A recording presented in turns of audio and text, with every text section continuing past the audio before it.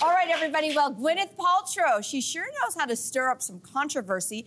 She did it again by sharing her daily wellness routine, which many people right now are saying it's, quote, out of touch and even harmful. So, uh, wellness, according to Gwyneth, means fasting, bone broth for lunch, a lot of vegetables with her paleo style dinner, and some dry brushing and sauna Not action. not while she's eating, I don't think. Yeah, I hope not. Not All while right. she's So, I mean, there's a lot of backlash anytime Gwyneth opens her mouth about something. so, what do you make of this reaction, Leans? If- I don't know. For me personally, it's the bone broth that sets me off. I know That's the thing that the sets thing. you off. I guess maybe because I have a cultural tie to it. Um, bone broth, or where it has been pulled from now, is a big part of Asian culture and has been for hundreds, if not thousands, of years. And so when we when we hear about bone broth, it's just like the soup or stew that we have with most of our meals.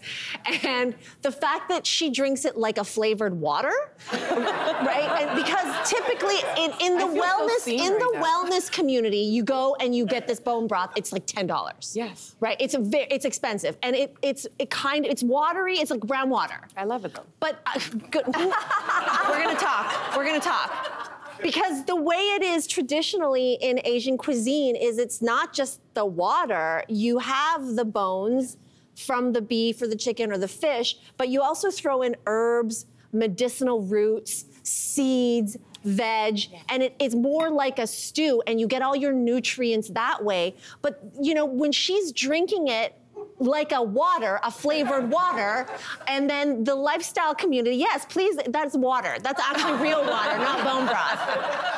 And the lifestyle community is co-opting it without understanding how cultures have, have really put it as part of their cuisine for different reasons. This is the stuff that makes me, I mean, I, uh, yeah, I You can't rage over this. I this. It's rage the over fasting it. for me. Yeah. It's the fasting. My my husband's friend was over last week and we were talking about like fitness goals and he suggested fasting.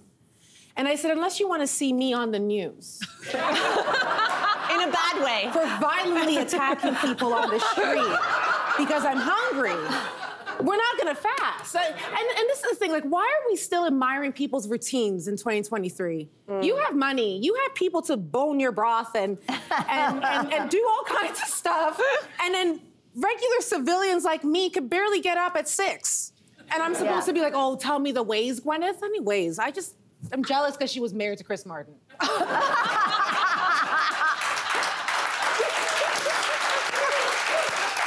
mean, I don't know what to say. This is just so, it's very LA. You know what I mean? Like, this just feels like an LA thing, and I, I, I agree with you. I don't know why we look to. It's also pockets of Toronto. It- well, okay, sure. Pockets of any urban center where there's a, a, a, a certain amount of like very affluent, very Yeah. wealthy people. And I was thinking as you were talking, like, it's the, the jacking up of the prices of bone broth as well. Like, it's it's something that $10 Mm-hmm. at Whole Foods. Right, that is ridiculous. And so Yeah. it's the Gwyneth effect. When somebody like her says that and they've decided that it's a posh health thing, it catches on and then it jacks up the prices for everyone, which is also very problematic. I'll I'll just say, not in Gwyneth's defense, because I will not defend her with the jade eggs and the things that she's talked about, in particular in the realm of sexual health that Yeah. really, really bother me. I'll just say the reason why people are turning to people like Gwyneth is because there is an absence in the traditional medical system that we still aren't addressing, particularly for women's health. Mm-hmm. So every time a woman goes to a doctor and complains about something to do with the way that she's feeling,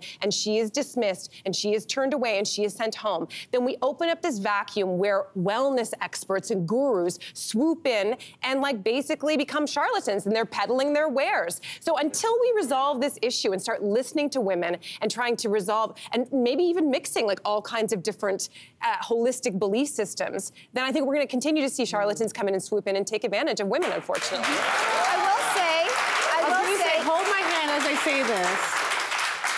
Culturally, people of certain backgrounds have been doing this forever. yeah.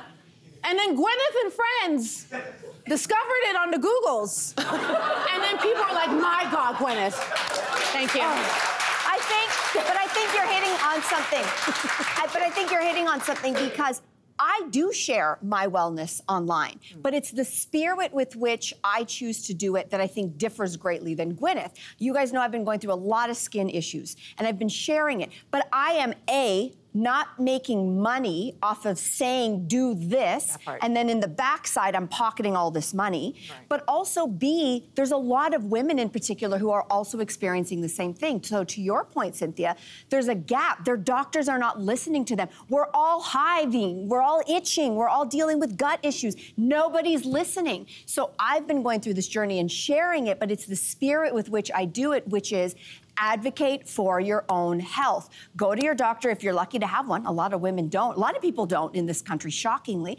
But if you're able to get to one, tell them your symptoms and don't walk out of there until they listen. And so when I'm out there sharing, I'm not trying to pocket money from you.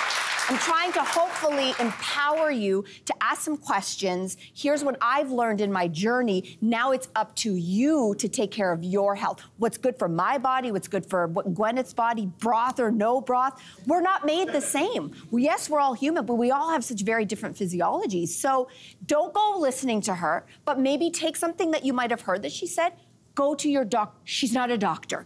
You have a doctor, or please go find one, or don't go to her. She's not a doctor. All right. She's not. I think we settled that. Yeah. Gwyneth Paltrow is not a doctor. Thanks for watching. We've got lots more discussion and debates on everything from food and fashion to pop culture and current events. Don't forget to click like and subscribe.